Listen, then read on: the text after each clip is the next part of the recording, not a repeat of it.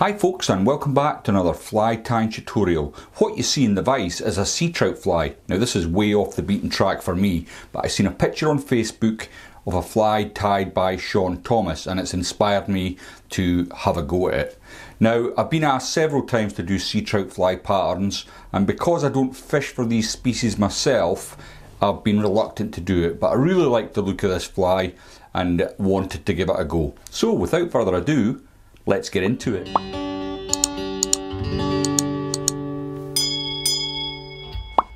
Now the hook in the vise is a Hanak H25XH hook. This one's at size 8, it's on a heavy wire and it's a bronze hook. The thread I'm going to be using is Semperfli's Nano Silk, it's at 50 denier and it's obviously black. Now as always with the Nano Silks, the first thing I'm going to do is add some super glue to the shank of the hook. Uh, sorry about the state of my super glue brush. I'll probably need to get a new pot. But I'm just catching that in behind the eye and I dare say the more discerning viewers will have noticed that I'm using a barbed hook and uh, the reason for that is I'm going to be giving three of these flies away at the end of this video and I just thought that sea trout anglers may well want to have barbed hooks. So I've laid uh, I've laid a bit of thread down and stopped my thread just by the barb of the hook. First thing I'm going to do is add some pheasant, golden pheasant crest. Now this is a natural colour. I've got a bit here that was sent to me kindly by James Gardner which has been dyed a sunburst and this is the one I'm going to use today for this fly. I've got a strand here and what I want is to have it about the length of the shank of the hook. And what I want to do is catch that in just at the end of the fly. Keep the tail on top of the shank. Now as you can see I've got a few turns in. I just want to reduce the length of that tail slightly and I'm still able to do that because I've not wrapped lots of turns onto it yet. I'm going to keep the length of this. This just helps maintain the width of the body. So I'll just keep all that on and then near the end I'm going to leave maybe two or three millimeters before the eye of the hook and catch that in. Now just let's have a look at that your side, that looks okay. Next thing I'm going to do is add a silver rib and I've got some 0.1 millimeter wire in silver and I'll just take a little bit of that off my spool and I'm going to catch that on my side all the way back up to the base of the fly. Now some of the sea trout flies, they're, they're lovely to look at uh, but I couldn't get into sea trout fishing really. Uh, I like sleeping at night and not wading a river trying to kill myself. But um, the flies look amazing. So I've got some uh, silver flat tinsel here. Uh, it's in a bit of a state I'm afraid. So I'm just going to grab a little bit of that off. It's quite thin stuff, so hence the uh, the wire rib just to keep that in place. So I'll catch that in again on my side and then I'm going to bring my thread all the way up and I'm going to stop it approximately three and a half, maybe four millimeters from the eye. There's quite a lot going to go on at the front, so you need to make sure you leave yourself plenty of space. Uh, I've obviously have caught sea trout in the past, but it's been a bycatch when I've been either trout or grayling fishing. Um, I haven't gone out to specifically target sea trout. And as I say, a lot of the guys that do this uh, they go out at night when it's pitch black, and full credit to them.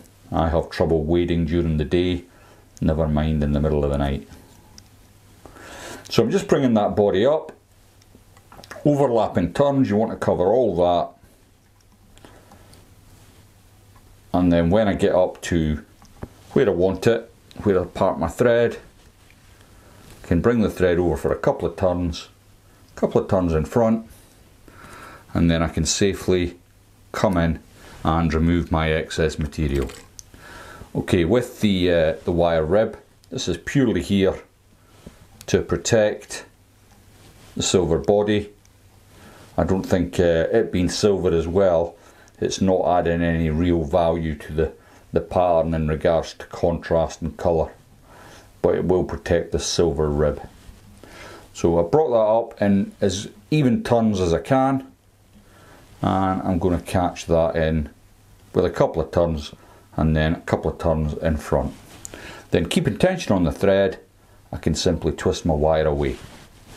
And uh, not that I know, but that's looking okay as regards to uh, fly pattern. So what I'm going to do next is add the hackling and I've got a blue cock cape here. I would have liked a hen cape for this actually. I think uh, it would have looked much better but I've only got a cock cape and I'm going to make do with what I've got. So I've selected a feather here and I've stripped away about two millimeters near the base of the, the feather. I'm going to catch that in again on my side. Make sure it's nice and tight in there. And then what I'm going to do is the spine of the feather I just want to encourage to come out at a 90 degree angle from the hook shank. Next I'm going to find my hackle pliers in amongst the mess that is my time bench at the moment and I'm going to bring that over like so. Now as I come up I'm going to try and encourage the fibres to come out for the cock hackle just a little. Uh, this is why a hen hackle would have worked much better. The, the fibres are much more inclined to to bend for you. But I've got two or three turns in there and I'm fairly happy that that's all I need to get that splash of colour. And I'm going to come up and catch in the tip of my feather. Now, once I'm convinced I've got that caught in, I can take my hackle pliers away. Going to lick the thumb and forefinger of my left hand, slick everything back and just tidy this up a little bit at the front. And with the nano silk, you get um, you get a lot of uh, opportunity to get a few turns in there to make sure it's not going to part company with the feather. Uh, and that's bending back just nicely now. Okay, so it's going not so bad for a fly that I don't use or tie. Uh, what I'm going to get next is some of this. Now, what this is, is foxtail.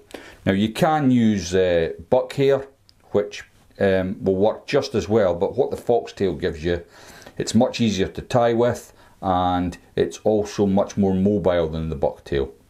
So I'm I don't, you don't need much. I'm going to take approximately half a centimetre and I will take that off the little pelt I've got. Now what I want with this wing, I'm just going to take some of these outline fibres, is I want it to come just maybe some of the fibres slightly past the tips of the tail here. So if I lay that on, like so, that's looking good. Now, with my thumb and forefinger in my left hand, I'm just going to encourage my hackle to drop below the shank of the hook. Now excuse my fingers, I'm going to get a couple of turns with the bucktail and that's looking okay. Then I'm going to lift that waste piece, get a couple of turns in front of the material and then I can come in with my scissors and remove the excess. Again, excuse my fingers and there we go. So that's looking not too bad. I'll do some bending of these hackle feathers uh, as the fly's finished. So next then I'm going to use some bronze mallard. This one's from the Irish Plucker. Uh, one of the best bronze mallards you'll find anywhere and the reason I say that is you get these really nice dark feathers from uh, them. The trouble with uh, your shooting pals are great and all uh, but often the, the feathers are a lot lighter than you would like. So I'm going to take approximately a centimetre, maybe a little more, and I'm going to pull that out at a 90 degree angle from the stem and then pull it away. What I'm going to do next is like a dabbler, I'm going to fold the two over to get my wing. Now the wing, the, the over wing should I say, is going to come no further than the butt of the body really. Maybe a little, but not much. So I'll dress that up. And also I'm not keen on it cloaking the fly. Uh, it's not a dabbler at the end of the day. So I'm going to catch that in bring my thread up over the head. And I'll just check your side. Not very happy with how that's laid there so I'm going to come back. And I would like it to come a little bit more on your side. Again a couple of turns.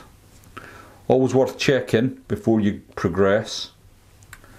Uh, there's nothing worse than carrying on without looking and then you find that you've not got what you wanted. So always check. I'm fairly happy with that. And I'm going to come in and again remove my excess. Helps to have really sharp pointed scissors for this kind of work. And that's looking not too bad. Although I'm sure if you're if you're a sea trout angler uh, please let me know in the comments if I'm doing it all wrong and uh, this would be no good to you. So, I can just uh, get a few turns in there. Still quite a lot of work to do at the head, but I'm going to add some jungle cock eyes. And I'm just using a natural cape here. Uh, I'm trying to use as small a feather as I can, but because I've tied lots of Diawl Bachs in the past, my small feathers are a little sparse. But I've managed to pick out couple of eyes that might do the job. And what I've done is I've trimmed away the guard hairs and I'm going to catch them in. I'll do my side first.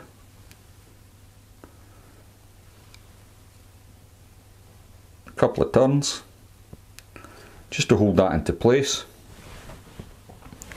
And then I'm going to add jungle cockeye to your side. I'm just going to tilt my vise slightly so I get the angle and the amount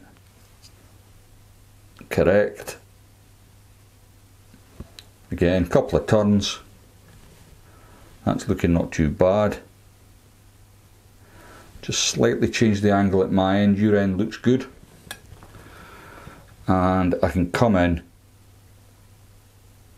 and remove the waste. Same on your side and then I can finish up the head. Now while I'm uh, doing that, it will take me a little bit of time, uh, what I'm going to do is if you leave a comment in the the comment section below, I'll I'll do a random comment picker and I'll send three of these flies off to the lucky winner. Uh, I can't see me taking up sea trout fishing this year. I've got so much on my list already that uh, adding another species is just not going to be viable for me. So somebody else might get the use out of these, if they think the flies are good enough of course. Now the head on this one is a little larger than I would have liked, but it is what it is. I think um, the thing that attracted to me this with with this fly was the color scheme. I just think uh, the blue and the black and the the hot the hot orange tail just really looks good. And uh, I dare say a brown trout would um, take this on board as well if it wanted.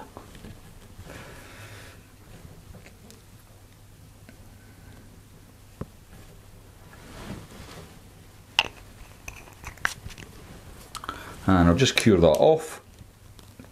Now I'll probably give this a couple of coats of resin and I noticed that where I've tied in the jungle cock, uh, I've got a little bit of white there which I want to get rid of.